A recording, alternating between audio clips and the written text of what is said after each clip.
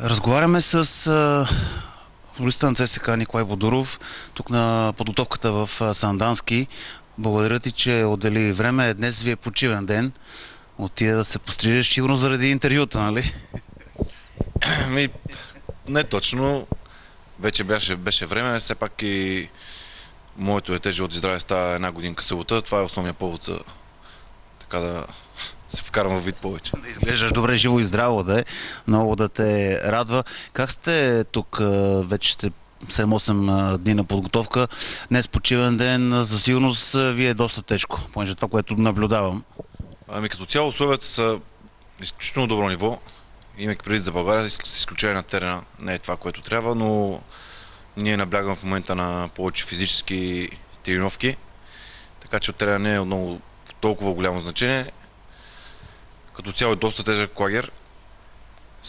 Така си говори другите момчета от физическо естество. Натоварват не доста, но знаем, че това е за наше добро, за да може после първенството да минават по-леко мачове, така да се каже.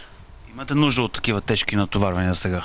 Еми, в подготовката е по-добре да натоварват повече, за да после първенството малко да свалиш и да си окей на мачовете. А ако не тренираш на подготовката, ще е много тежко в мачовете. Няма как да издържиш 90 минути. Дори мачове за купата за 120 дето са. Така че нека по-добре да се натоварват преди етап.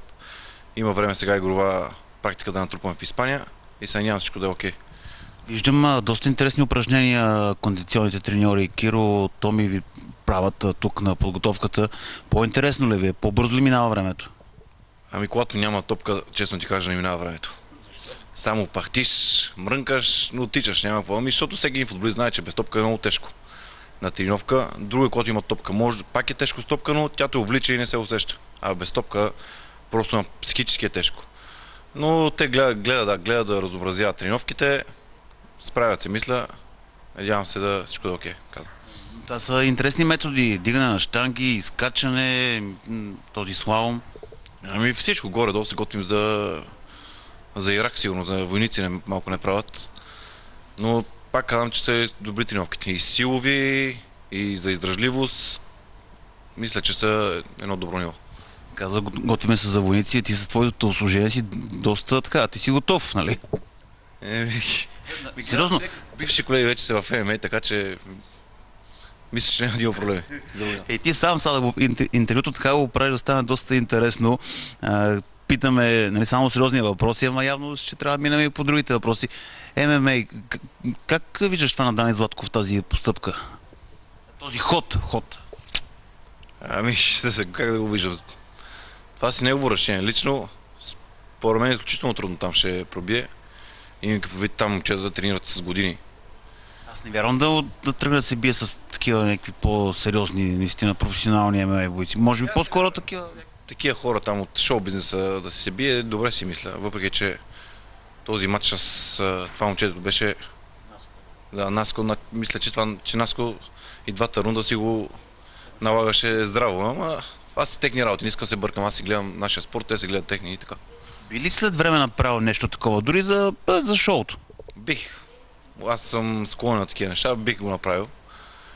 Но не, аз излагам, както казах ти, за шоуто, бих направил. Кой спорт? Еми, някой от бойните спортове, смисъл... Не знам точно кой, но...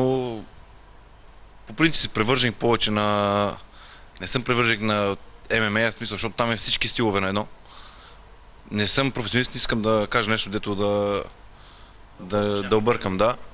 Но мисля, че повече обичам в тези в права стойка, където са бокс или кикбокс, някакви такива. Правил ли си някакви опити, нещо тренирал ли си? Еми, ходих съм в зала, съм, но по бокса окруж само. Бияте като... Еми... Не, имам, в крайна сметка не съм нивото на другите хора. Ама си до, до, доста здрав си, аз това те гледам на тренировките. Не ви ли пречи малко тези мускули, не ви ли пречат като тичате? Еми, ти като гледаш цял свят на другите момчета, дали им пречи? Според мен не.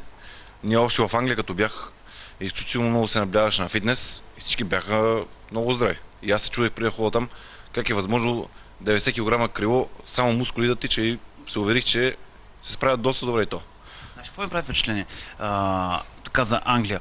А, Каранга, като го виждам на, нали, на матчи, на тренировки, с ни такива краченца, си казвам, толкова отида в Англия, Мисля, че на втория матч ще отида по трибуните, като влезе един здрав защитник на шпагата. Ами особено ако е чемпионшип, дето аз бях, мисля, че ще, направо ще го изкъртат. Честно съм. Направо ще го изкъртат. Вижте лига си играе повече футбол, но в чемпионшип специално, дето е там е изключително силово и директния футбол си играе.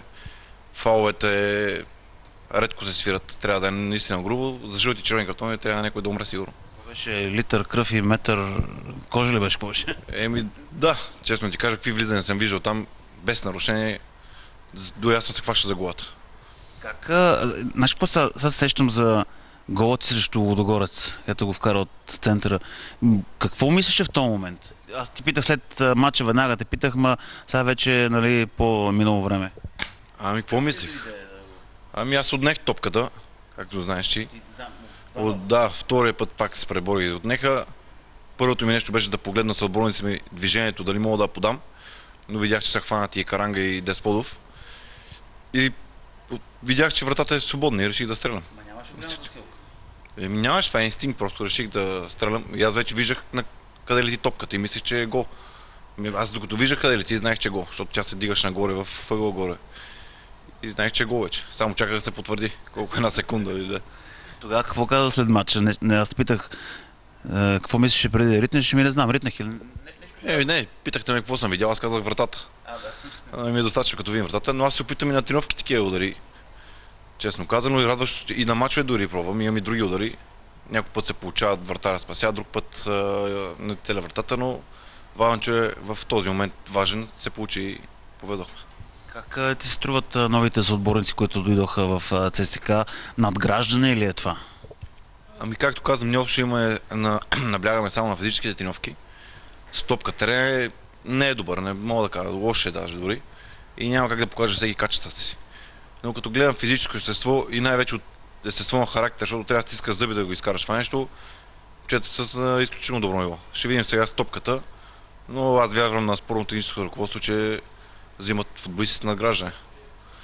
Тази цел не вярвам някой да взима футболисти да искаме да ни пада нивото. Аз това с Трифон Попов а, си говорихме, че наистина ЦСК не взима просто за да вземе, нали, както правят повечето, а гледате да, да надграждате, защото наистина тези футболисти са, са добри, които дойдоха май. Ами по визитки са добри всичките. То това е целта да надградиш, ако взимаш само колко да отбиеш номера, да кажеш, че си взял някой, няма смисъл, по-добре сигурно ще играе. Но мисля, че всички до сега футболисти, дето са били тук, са помогнали по един или друг начин на отбора. Ще ти липса ли Антон на Недялков отляво? Ами ще видим. Аз казвам, че за мен беше той най-добрият футболист, може би в ЦСКА. Изключително се отдаен, с качества, много добър футболист за мен. Надявам се да не му се отрази липсата на отбора. Ще ми липсва, защото ние си имахме наша комуникация малко по-странна от нормалните, но пожелавам му успех, жив и здрав да е. Аз съм сигурен, че той ще успее. Какъв мисъл по-странна комуникацията? И в смисъл, ние си говорим по-директно, когато нещо, някой път и може да се напсуваме дори, но Примерно, Вие се псувате не е защо, за да те убиеш. Не, не, не. В смисъл надъхваме така. Аз между другото, знаеш какво? ще го хуля повече, той върти главата, но, но имаш много, аз хуля футболисти, които имат а, качества и виждам, че могат да ги разкрият, да ги развият и да ходят да изкарат пари.